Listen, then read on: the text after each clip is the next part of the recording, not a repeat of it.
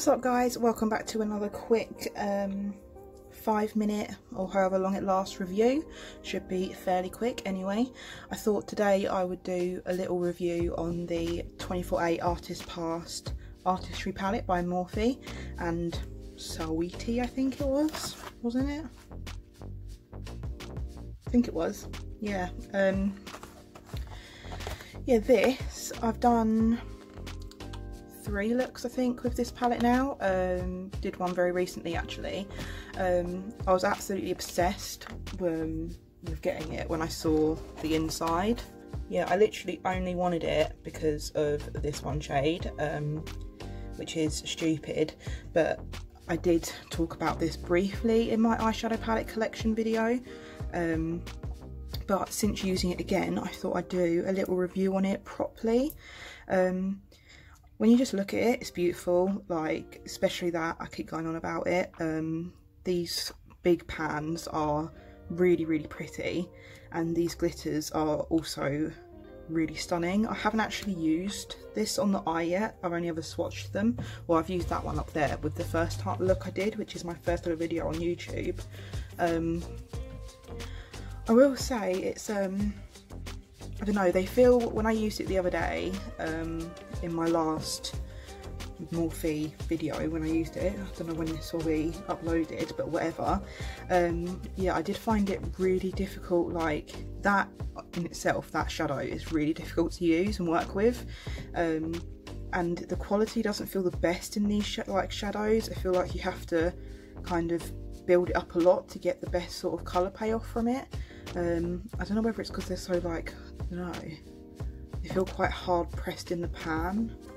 But um like they swatches are always really nice when I try and swatch this, but um and they're really pretty, but I don't know, I don't really know, I can't, I'm really bad at explaining myself, but um, this shadow, like as pretty as it is, which is the whole reason why I bought it, it's so hard to work with because the shadow, like the really pretty duochrome shadow is mixed in with a thousand stars and it's like this crushed formula. I'll see if I can like get a bit on my nail so you can see. It's like, see if I can get my camera to focus. It's like this crushed ice formula. Like, yeah, it's literally just a sugar-like consistency with stars just stuck in it. So when you're trying to put that on your eye, you're trying to, you know, get this colour everywhere, but you're stuck with all these stars in the way and they just get everywhere. It's like, realistically, it would have been and there's not actually that much shadow either like I can see the I could see the bottom of the pan like within the first swatch I did when I first got the palette so that was a bit disappointing and um yeah it's just the colour is so nice, it's just such a bitch to work with that it kind of dulls the excitement and it's like, oh, because like that colour is so nice but you struggle to get anywhere with it because of the consistency and the stars all in the way. It's like realistically I thought it would have been better maybe if they did like the shadow with just like the colour and then like, I don't know, put the the stars in a pot in the box or something like it send, send you them separately so you can like add them but I suppose that kind of isn't what they were going for is it? Um, people probably wouldn't have bought it if the stars weren't in there to begin with but yeah um, it is really pretty it's just really difficult to work with um, and I did use the yellow um, doesn't come out as pigmented as it looks like it's so bright and neon, but on the eye it doesn't come out as bright as you'd think it would. Um, the purple as well, um, yeah, that's a little bit difficult to work with. Um, yeah, they're just a little bit hard to blend and yeah, I keep saying it, just they're not as easy to work with, they're not as pleasurable to work with, should I say, as other palettes that I own. Um, you know, even like the Love Tahiti, BPerfect, all the all the Carnival palettes. Well, I've only got the Carnival 2 and Carnival 3, but you know, that um, quality is far superior, I think, in my eyes.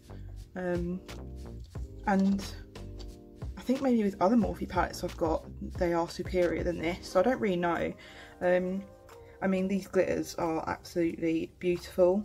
I mean, the glitters are so pretty. I think I might, you know, use this palette just for them, you know, maybe for some spotlight looks, just to glam up some looks a little bit more maybe, because, you know, it'd be rude not to use something that's this pretty. Um, I'll do this one as well. And they swatch better than other glitters in other palettes. They are extremely beautiful. They, you know, there's so many different colours in all of them that just like that one with all the blue in it and that one's got like some orangey in it. It's all just so pretty. But then when you try and wipe it off, you get kind of left left with that. So do 10 out of 10 do not recommend swatching them all in one go and then rubbing them off. Um, but yeah, I just thought it's so pretty but so underwhelming at the same time and I think that's the worst thing that happens when you get a palette that looks so gorgeous like this and then it's underwhelming. And yeah that's like the worst thing that can happen with makeup is being excited and then when you play with it it's a bit of a letdown. Um like this shade is gorgeous. I mean look at that with the light hitting on it. It's ridiculous it's probably the best shade out of the whole thing to be honest that purple as well like these are just amazing.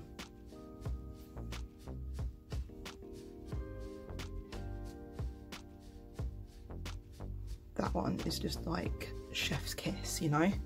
But um yeah, I do I do like it. It's just I didn't I don't like it as much as I thought I would and that's always something that's like oh a bit meh about makeup when you buy it because you always want to love something as much like as much as possible.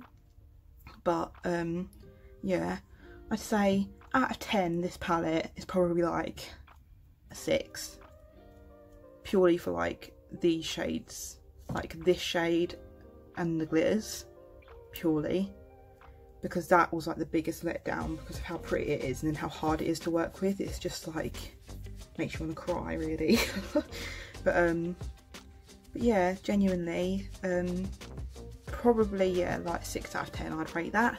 6 out of 10. Well, thank you for listening. Um, that's my opinions on it anyway. Obviously, these are my opinions. If you've got a different opinion, then I'd love to hear it.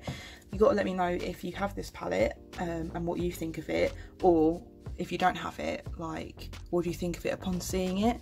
Um, you know, what would your expectations be from a Morphe palette so to say, so to speak.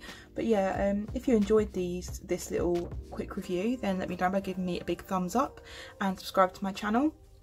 And then if you could also like and follow my other social media, which is an Instagram, a Facebook and a Twitter, then I would be very happy and grateful.